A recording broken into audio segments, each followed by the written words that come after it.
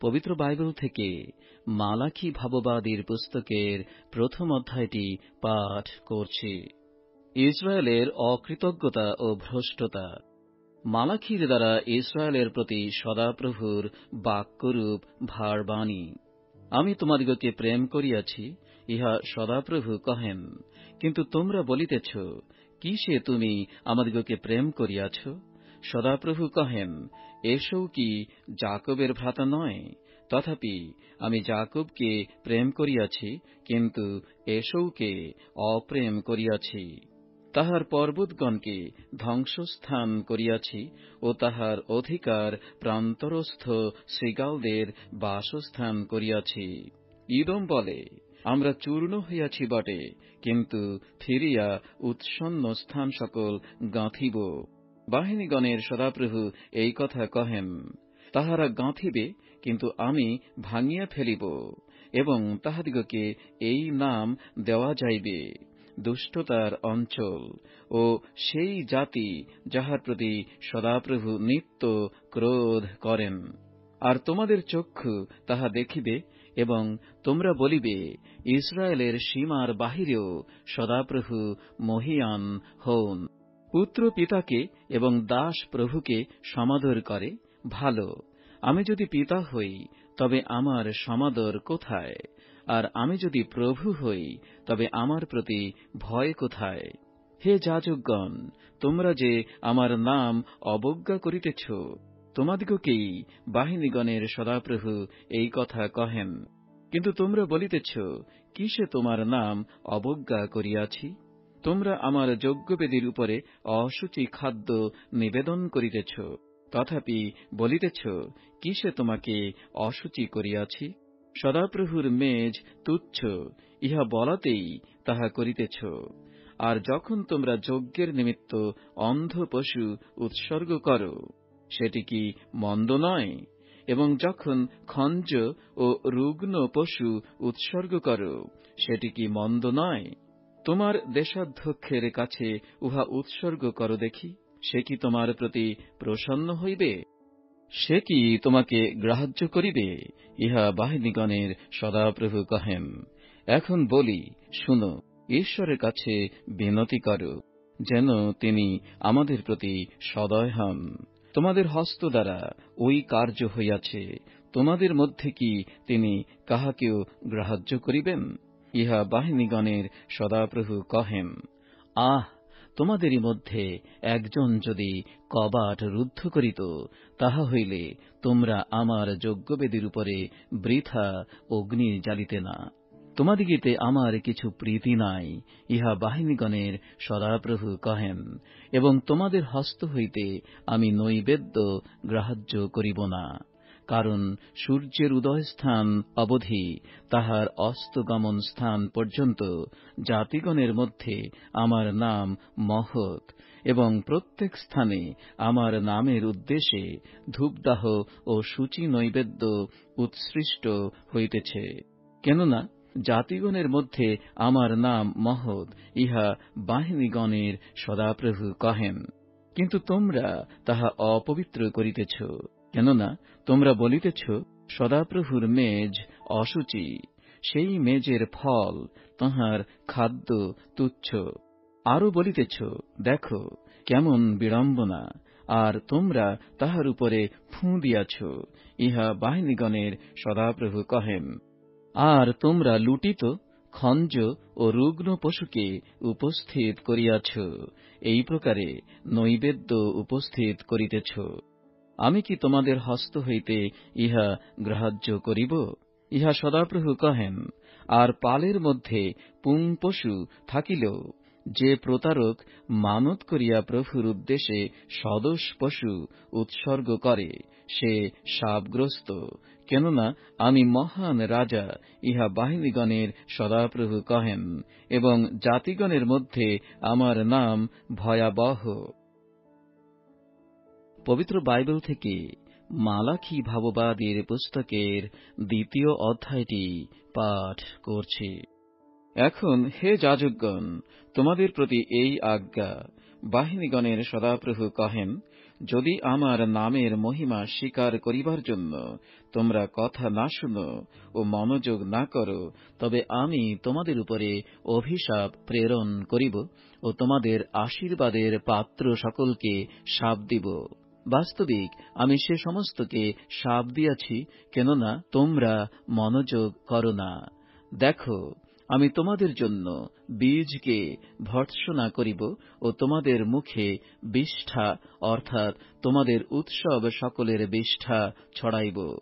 এবং লোকেরা তাহার সহিত তোমাদিগকে লইয়া যাইবে। আর তোমরা জানিবে, লেবীর সহিত যেন আমার নিয়ম থাকে, সেই জন্য আমি তোমাদের নিকটে এই আজ্ঞা পাঠাইলাম। ইহা বাহিনীগণের সদাপ্রভু কহেন। তাহার সহিত আমার যে নিয়ম ছিল, তাহা জীবন ও শান্তির নিয়ম, আর আমি তাহাকে উভয়ই দিতাম, যেন সে ভয় করে, আর সে আমাকে ভয় করিত এবং আমার নামে ভীত হইত।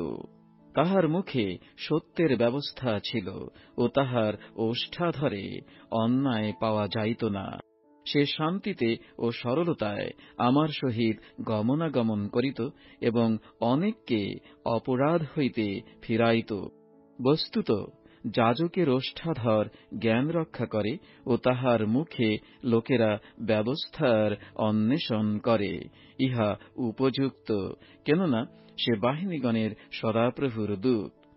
কিন্তু তোমরা পথ হইতে সরিয়া পড়িয়াছ, ব্যবস্থার বিষয়ে অনেককে উছোট খাওয়াইয়াছ। তোমরা লেবীর নিয়ম নষ্ট করিয়াছ, ইহা বাহিনীগণের সদাপ্রভু কহেন। এই জন্য আমিও সকল প্রজালোকের সাক্ষাতে তোমাদিগকে তুচ্ছতার পাত্র ও নিচ করিলাম।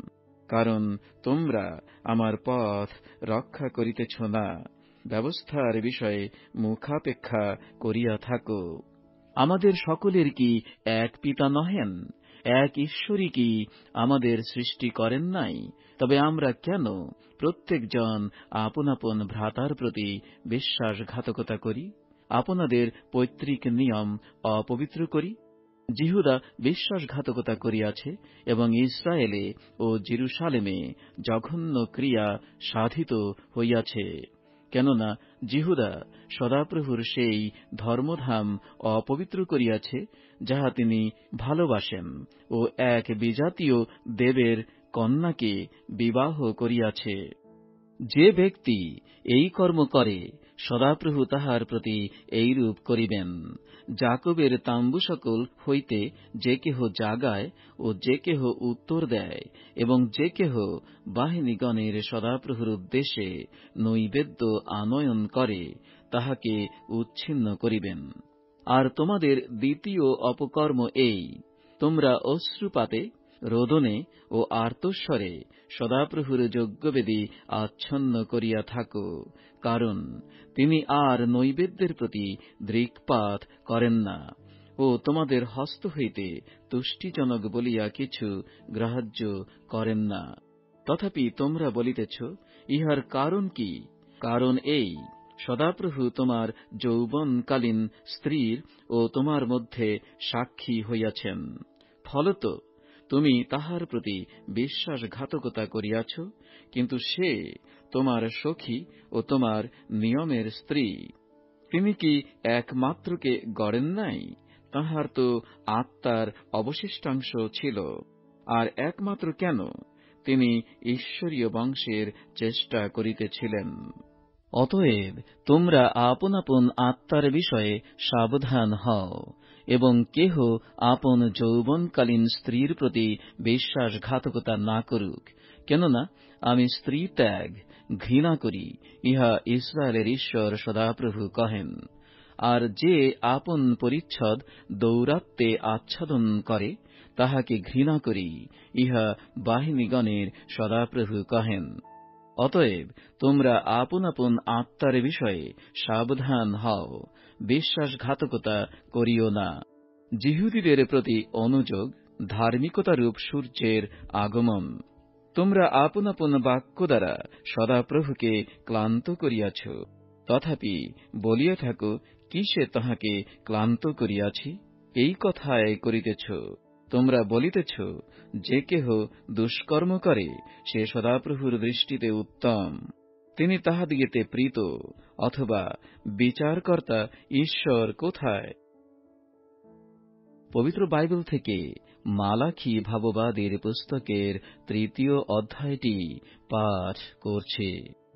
দেখো, আমি আপন দূতকে প্রেরণ করিব সে আমার অগ্রে পথ প্রস্তুত করিবে, এবং তোমরা যে প্রভুর অন্বেষণ করিতেছ, তিনি অকস্মাৎ আপন মন্দিরে আসিবেন। নিয়মের সেই দূত, যাহাতে তোমাদের প্রীতি, দেখো তিনি আসিতেছেন, ইহা বাহিনীগণের সদাপ্রভু কহেন। কিন্তু তাহার আগমনের দিন কে সহ্য করিতে পারিবে? আর তিনি দর্শন দিলে কে দাঁড়াইতে পারিবে? কেননা তিনি রৌপ্য পরিষ্কারকের অগ্নিতুল্য ও রজকের খারতুল্য তিনি রৌপ্য পরিষ্কারক ও সূচিকারক হইয়া বসিবেন। তিনি লেবীর সন্তানদিগকে সূচি করিবেন এবং স্বর্ণের ও রৌপ্যের ন্যায় তাহাদিগকে বিশুদ্ধ করিবেন। তাহাতে তাহারা সদাপ্রভুর উদ্দেশ্যে ধার্মিকতায় নৈবেদ্য উৎসর্গ করিবে।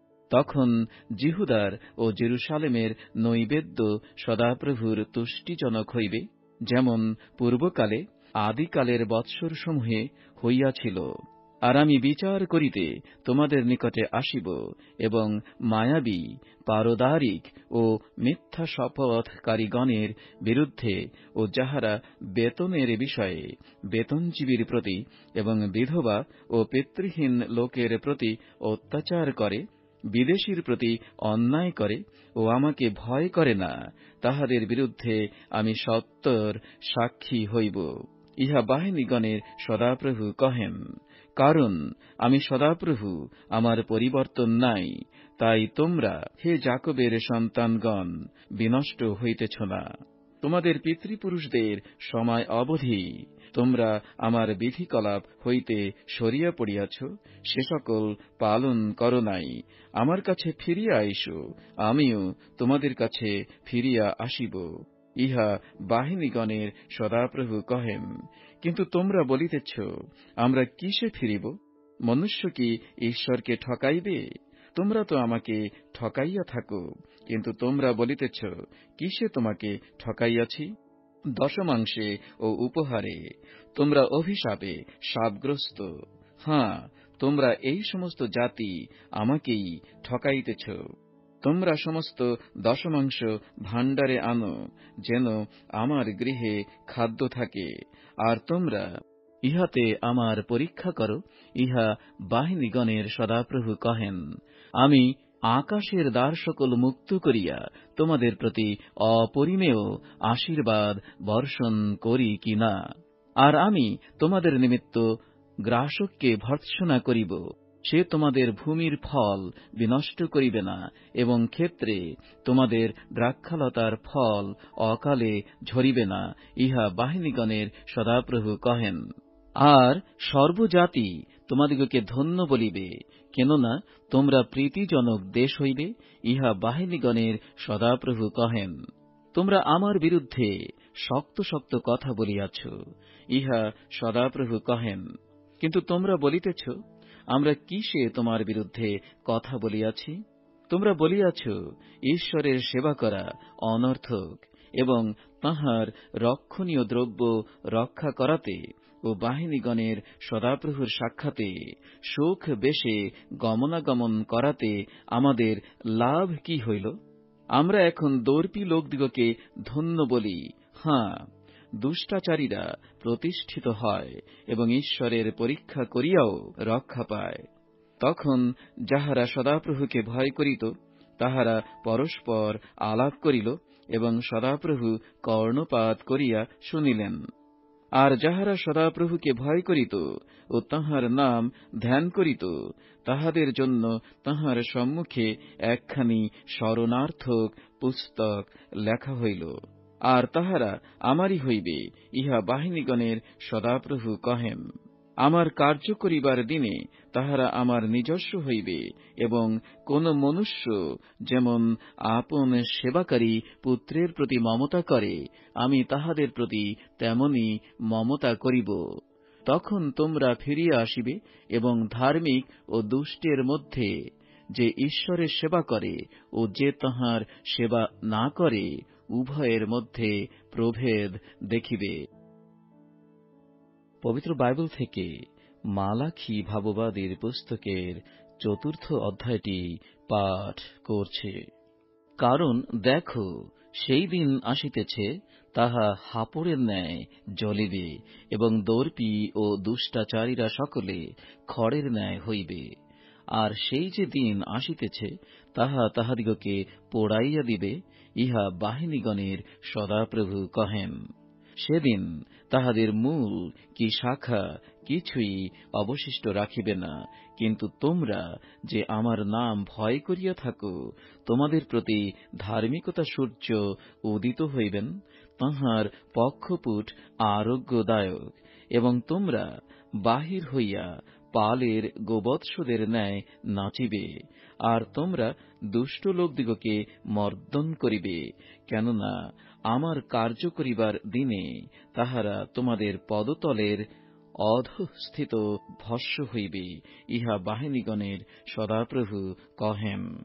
তোমরা আমার দাস মসির ব্যবস্থা স্মরণ কর, তাহাকে আমি হোরেবে সমস্ত ইসরায়েলের জন্য সেই বিধি ও শাসনকলাপ আদেশ করিয়াছিলাম।